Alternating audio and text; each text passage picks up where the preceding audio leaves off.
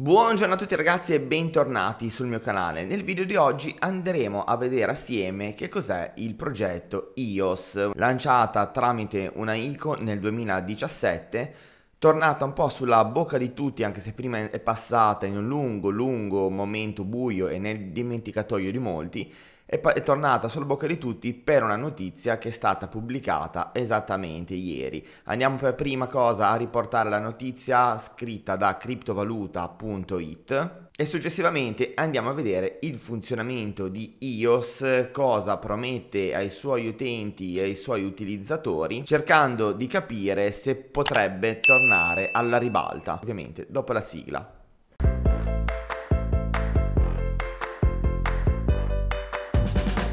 Con leggervi la notizia scritta il 17.8 da Gianluca Grossi di criptovaluta.it. Alla fine ci siamo, il protocollo blockchain EOSIO forca, si rinomina e spinge in alto il valore del token, il migliore di una giornata non entusiasmante per tutto il mercato delle criptovalute e di Bitcoin.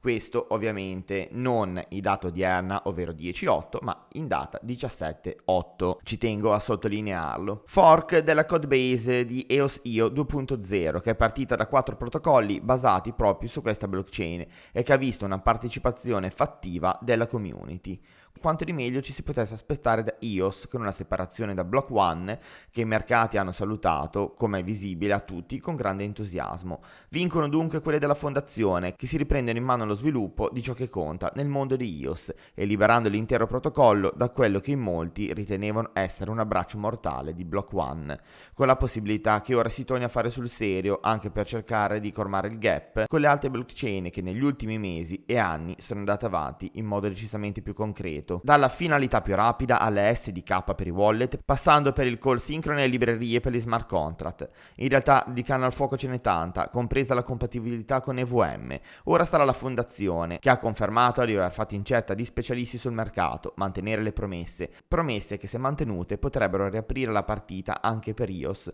protocollo che molti dei nostri lettori avevano forse dimenticato. iOS Foundation Network, raggiungibile all'indirizzo iosnetwork.com. We are consensus. I veterani della blockchain e delle criptovalute si ricorderanno il 2017, tra tanti fattori memorabili anche l'ICO o la ICO, come dir si voglia, di iOS. Per molti di voi, anzi per quasi tutti noi, quello che starete per sentire oggigiorno è un'ovvietà ed una consuetudine, ma nel 2017 questa infrastruttura era tra le più promettenti e all'epoca veniva nominata per la prima volta Ethereum Killer. Come detto poc'anzi è un token messo in circolazione dopo una icon nel 2017, nata dalla mente di Dan Larimer, fondatore tra le altre cose di BitShare, che decide di creare un, un'infrastruttura di servizi per lo sviluppo e autenticazione di nuove DApp, le applicazioni decentralizzate. Una prima versione è avvenuta circa il 14 settembre del 2017,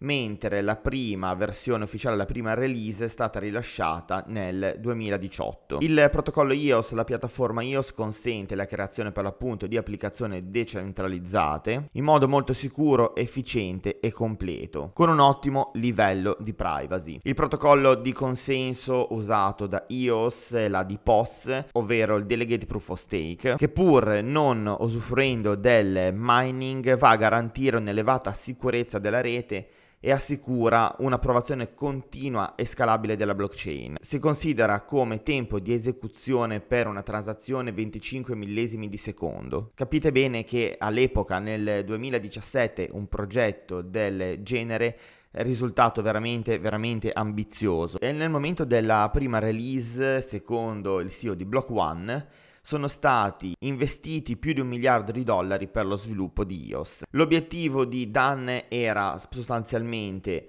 costruire e lanciare una piattaforma smart orientata completamente al business, dove nel suo mondo ideale le società e le imprese potessero essere collegate e che consentissero transazioni sempre tra di loro molto veloci. Una grande novità che introdusse nel 2017 è l'utilizzo del token iOS Infatti normalmente tantissime reti decentralizzate richiedono ai propri utenti di andare a spendere un token della piattaforma o dei token specifici per poter utilizzare le risorse della rete messa a disposizione. iOS era diverso perché andava ad incentivare gli utenti a detenere il token iOS. Infatti solo i possessori del token iOS sono in grado di utilizzare la rete creare ed eseguire applicazioni decentralizzate. Addirittura se un utente non andava ad utilizzare le funzionalità della rete, poteva facilmente andare a prestare la propria larghezza di banda ad altri che desideravano utilizzare EOS IOS per creare delle app su blockchain. Nel gennaio 2018 il EOS è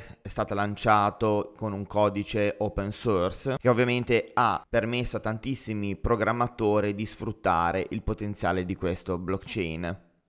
Col senno di poi l'unico contro è che con eh, queste caratteristiche si è trasformato in uno sviluppo di una community particolare, ovvero di Block One. iOS è molto simile ad Ethereum per quanto riguarda la creazione di applicazioni decentralizzate e smart contract. Anche se iOS ha dei vantaggi rispetto ad Ethereum, ovvero fornire degli account con sistemi di autenticazione e database, comunicazione asincrona tra nodi, è molto molto più scalabile al suo interno, andando a bloccare i token IOS per generare potenza, va a eliminare le fee e le commissioni. Ha un sistema di aggiornamento molto semplice e un registro completo degli errori per andare a lavorare su di essi. La rete può produrre un blocco circa ogni 5 secondi con un batch di 100 130 blocchi ogni volta circa. E come ho detto prima una transazione può essere avviata può essere considerata confermata con certezza 0.25 secondi dopo l'emissione sulla rete. Ha implementato un algoritmo di tolleranza agli errori bizantini asincroni quindi la BFT per cercare di ottenere l'irreversibilità delle transazioni molto più rapide. Infatti questo algoritmo, l'algoritmo ABFT, va a fornire una conferma del 100% dell'irreversibilità in un secondo. Rispetto alla blockchain di Ethereum, per programmare su Ethereum era necessario studiare un linguaggio di programmazione che non tutti i programmatori e gli sviluppatori conoscevano, ovvero il Solidity. Per quanto riguarda iOS, i programmatori possono sviluppare applicazioni decentralizzate utilizzando linguaggi di programmazione come ad esempio C++, Java e Python, invece di andare a studiare un nuovo linguaggio di programmazione, quindi anche questo poteva aiutare e può aiutare la crescita di iOS. Per quanto riguarda brevemente il funzionamento per lavorare su questa blockchain, su questa piattaforma, gli sviluppatori devono avere un accesso a diversi tipi di risorse, ovvero la risorsa di calcolo, la larghezza della banda e la memoria, molto simili alla CPU e allo spazio di disco RAM di un computer che usiamo tutti i giorni.